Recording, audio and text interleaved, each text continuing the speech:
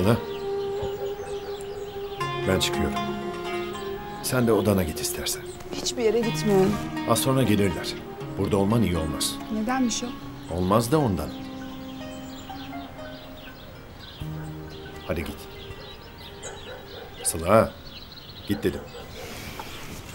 Şimdi gidiyorum ama bil ki ilk fırsatta kaçacağım.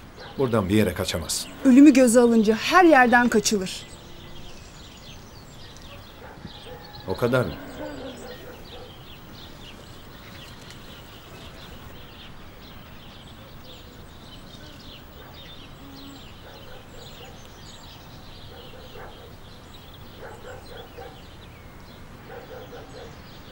Ayşe!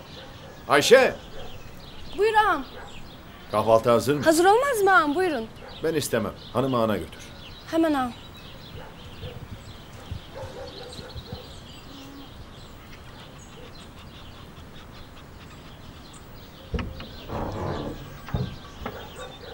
Günaydın.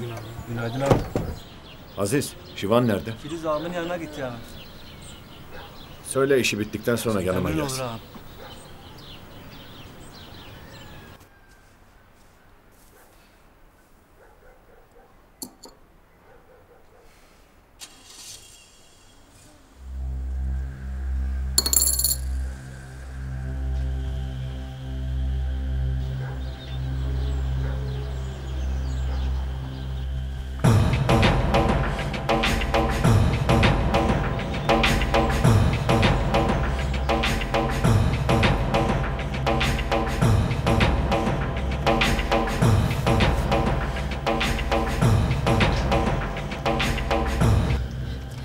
Korkuttun mu gelin ağam? Yo, Günaydın. günaydın.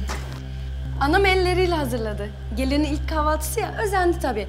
Aslında ağamla karşılıklı yemeniz denk düşerdi ama pek yoğun gene. Adın ne? Ayşe, Benim de Sıla. bilmez miyim gelin ağam? Bak Ayşe, senden bir şey isteyebilir miyim? Telefon var mı? Var tabii, olmaz mı? Bana getirebilir misin? Anama bir diyeyim, gerekirse getiririm. Siz buyurun, afiyet olsun.